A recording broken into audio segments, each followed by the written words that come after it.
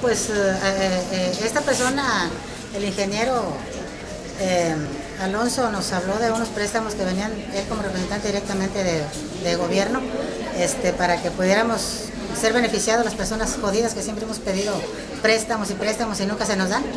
Entonces, pues él vino personalmente, me citó, el conducto fue la Cámara de Comercio aquí de Río Bravo. Formó una planilla, un comité, porque él así lo, así lo pidió, eran los primeros requisitos que se requerían.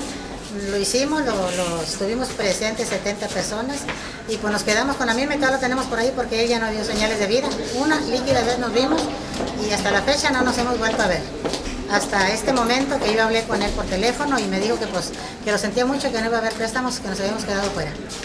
Según la, según como se ve aquí en la tarjetita, aquí está, aquí es Buró México, pues como años atrás tanto golondrino que entra aquí a Río Bravo y que viene y, que viene a servirse precisamente de nosotros, la gente necesitada, la gente jodida, y pues lamento bastante y me puede bastante que esta persona, sin conocerme, sin conocerle, haya venido a jugarnos el dedo en la boca. Yo considero como un, vil engaño y pues no sé qué, no sé qué, digo, se enseñó sin conocernos y sin nada, ¿por qué, ¿por qué actuó de esa manera? Nosotros estábamos muy tranquilos, no teníamos ninguna necesidad, no le habíamos solicitado a él absolutamente nada, como para que haya venido nomás de la noche a la mañana a, pues, a ilusionarnos.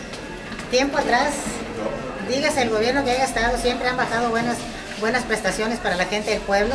Entonces, para mí que sí bajaron los préstamos, pero ahí se desviaron para el compadre, para el sobrino, para el tío, para la suegra y para el suegro. Así lo considero y lo podría sostener en un determinado momento.